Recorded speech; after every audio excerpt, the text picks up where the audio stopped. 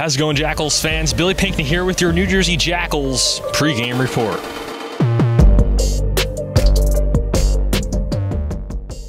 Tonight, the Jackals open up the final home series of the 2022 season here at Yogi Berra Stadium against the New York Boulders. The Jackals are coming off of an exciting series against the Empire State Greys and an exciting win this past Sunday afternoon.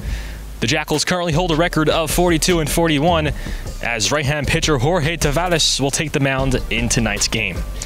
I'd like to thank you all for tuning in to the Jackals pregame reports all season long. I'm Billy Pinckney, and we'll see you later on with your Jackals postgame report.